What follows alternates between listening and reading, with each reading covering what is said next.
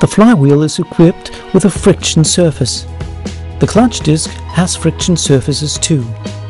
When the friction surface of the flywheel and the friction surface of the clutch disc are brought into contact with each other, the clutch disc rotates.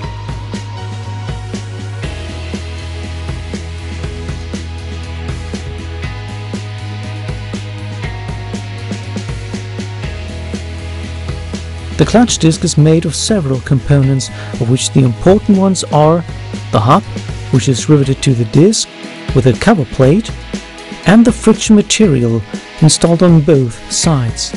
In the past, friction material was made of asbestos and other harmful substances. Today, friction surfaces are made of ceramics and substances that provide a high coefficient of friction. In general, Cars for daily use are equipped with clutches that feature springs to damper chatter to achieve an easy operation and to reduce the impact to the gearbox at the engagement.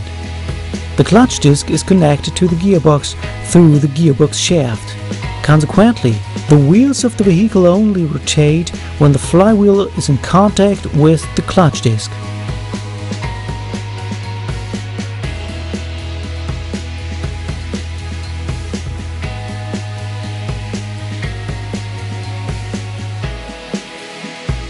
The pressure plate is needed for engaging and disengaging the clutch disc. The pressure plate is riveted to the flywheel. As a result, the pressure plate rotates when the flywheel rotates. Let's take a closer look in order to see what happens in this important component. A clutch release bearing is positioned in front of a diaphragm spring.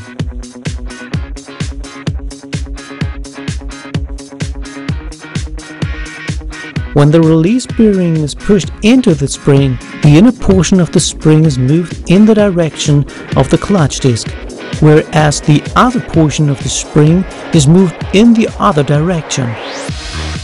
Consequently, the clutch is disengaged because the pressure disc is mounted in a flexible manner to the casing.